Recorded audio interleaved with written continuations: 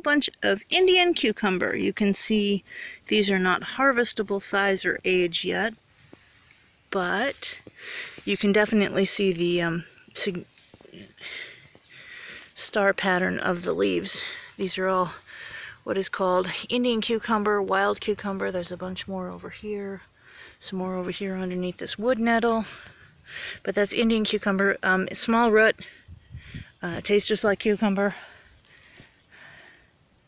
No poisonous similarities found. There's a bunch more up there. All sorts of it in through here along with the wood nettle.